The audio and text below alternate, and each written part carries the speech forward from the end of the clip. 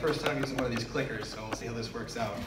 My name is Taylor West. I'm one of the co-founders of Humble Sea Brewing Company. Uh, along with me, I have Frank Scott Kruger, who's also one of the co-founders, and then Nick Pavlina, who's also another one of the co-founders. We recently opened up on Swift Street. Uh, we opened up on March 17th, this last, uh, or two months ago. So it's been a pretty exciting time. So stop by if you haven't, if you haven't had the chance yet. So now, regardless of what Donald Trump has to say, manufacturing jobs in the United States aren't really coming back. And since the year 2000, we've lost more than 5 million manufacturing jobs. A lot of this has to do with improvements in technology and automation. So why, when we neighbor Silicon Valley in San Francisco, the automation and sort of technology focal points of the world, do we decide to open a manufacturing business in Santa Cruz?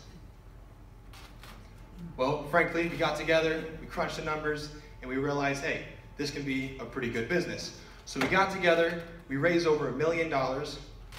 We, we started working with our friends and family and pulling in investments of ten, fifteen thousand dollars, twenty thousand dollars, twenty-five thousand dollars, and after the first 16 months, we raised $330,000 in a convertible note. Now that convertible note helped get our small manufacturing facility up and running in the Santa Cruz Mountains, up in Ben Lomond. Now after that, we also were able to sign a lease to our current location in Santa Cruz. We were able to put a down payment of $67,000 onto our brewing equipment, and we were able to sort of get the project up and running. Now, shortly after that, we began the bank courting process, or banks began courting us. We got turned down by quite a few. Our bank, our bank account ran pretty low, but in September of this last year, we got an injection of $500,000 from Heritage Bank account, or from Heritage Bank of Commerce, and this was been able to fund the remaining parts of our project. So essentially getting our tap room functional, getting our brew house functional, getting everything that we need, getting employees hired. Now from there, it's like, cool, how did we get this project up and off the ground? Well, same thing that a lot of businesses starting out do. They apply the lean startup methodology. So we took that $330,000, we got a small manufacturing facility going up in Ben Lomond. It was at the time, it was grandma's carport. She asked us and she said, hey, how long are you guys gonna be here? We're like, oh, two to three months. She's like, cool, how much space do you need? We're like, 20 square feet. 16 months later, we own the whole carport. Her car's parked outside. we got a manufacturing facility going from Ben Lomond.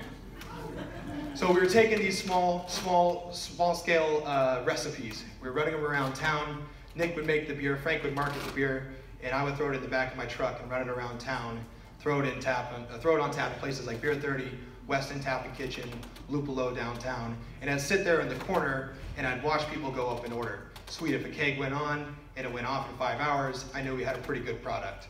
If it went on and it stayed on for three weeks, back to the drawing board, we got to make a new beer. So from there, we're also brewing on a very small system. So it's two kegs at a time. So we brew a funky beer, something like an Indian Pale Lager with jalapenos. It didn't turn out very well.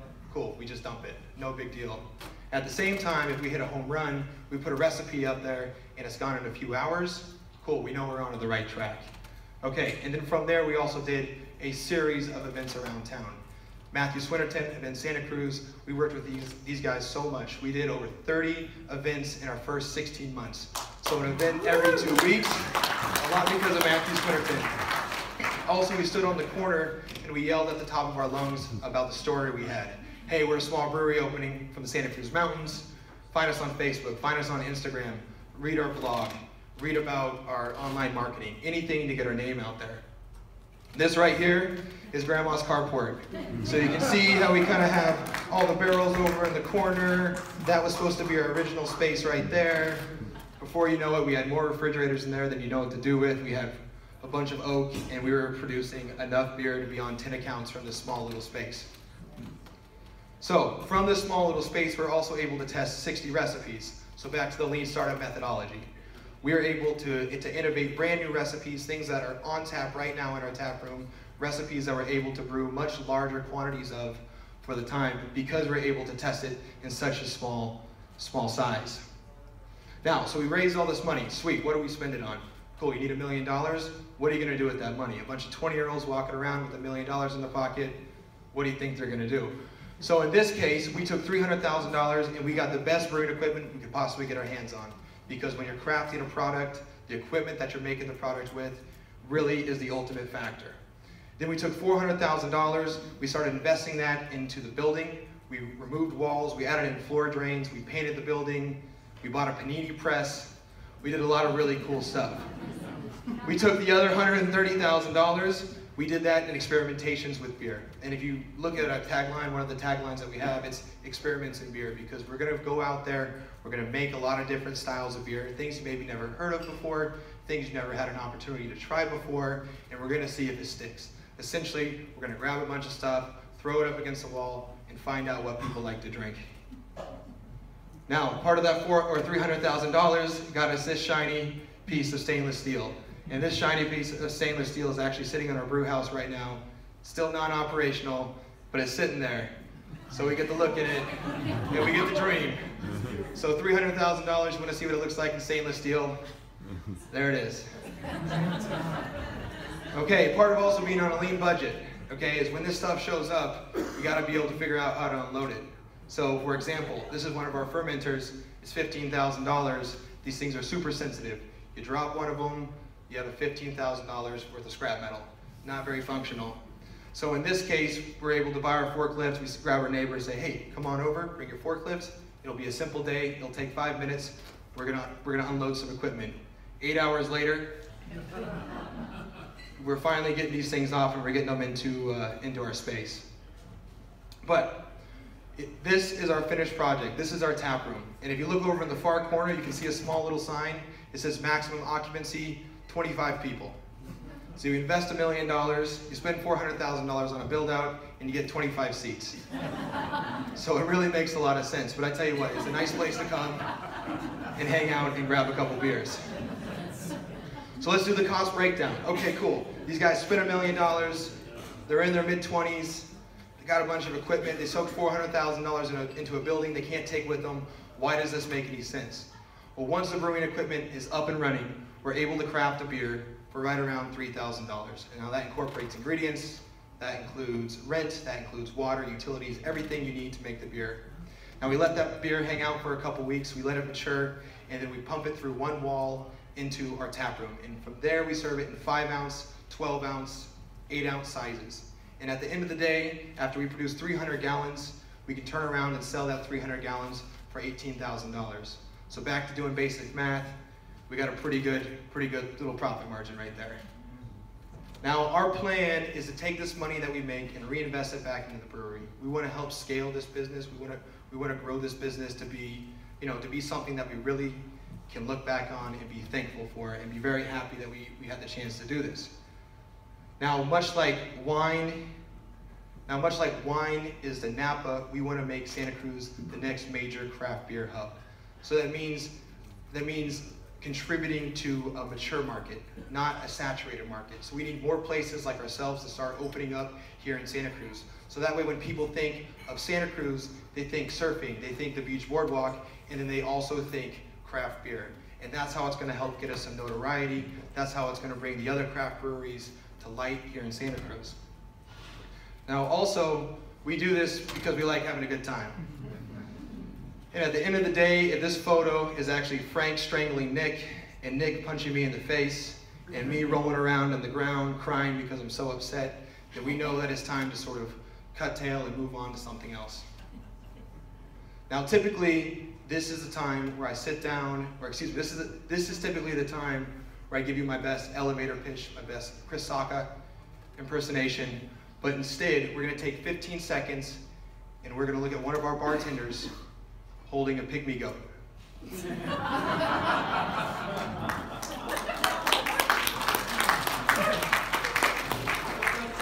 awesome. Thanks, guys. We got beer over there. We got an email list. Questions?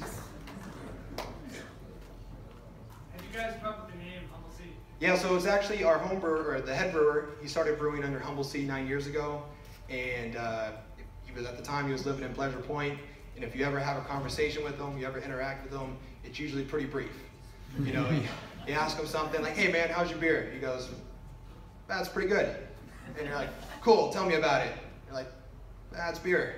So when we were discussing names for the business, the name Humble Sea just fit very well. We decided to move forward with it.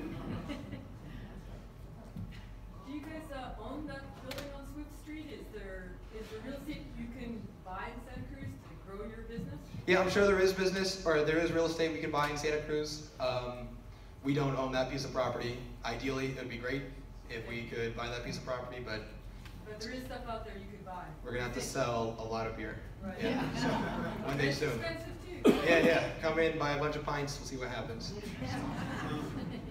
Guys, anything, anything else? Are you in retail yet? You on your, Yeah, that's a good question. So we actually started off by wholesaling our beer. That was our, you know, we did wholesale before opening a retail location. Um, in this case, we actually had to pull all of our wholesale accounts and we only have our storefront. Uh, one day soon, hopefully within the next couple months, we'll begin, we'll begin wholesaling again. It's gonna take some time. Uh, right now, we're actually in a beer shortage. We're having sort of a, beer problems, uh, the, which is a good problem, and it's a great problem to have. But the, the beautiful stainless steel equipment we showed isn't hooked up yet, so we're having to find creative ways to make enough beer. And two weeks after opening, we almost ran out of beer, and you know we're a brewery with no beer. I don't really understand how that works. Yeah. So yes, sir. Did you have any, uh, was there any challenges in scaling from those small batches to the larger batch? Did things change unexpectedly? Yeah, absolutely. So um, there, there, there has been uh, some slight issues. We're actually just getting into that right now. So our first batches on a, on a larger system are starting to come out. I know efficiency, efficiency is typically like a big issue. Um, we're just gonna have to figure that out as we start making more beer. So what's with that equipment? Do you need a permit or something? No, actually, we have all the permits necessary. In this case, not to give you guys a sob story, but we're waiting on a PG&E power upgrade, and uh, we've been waiting for 15 months now. That timeline has actually been extended to the end of July, um, and every single time our deadline comes up, they just extend it back again.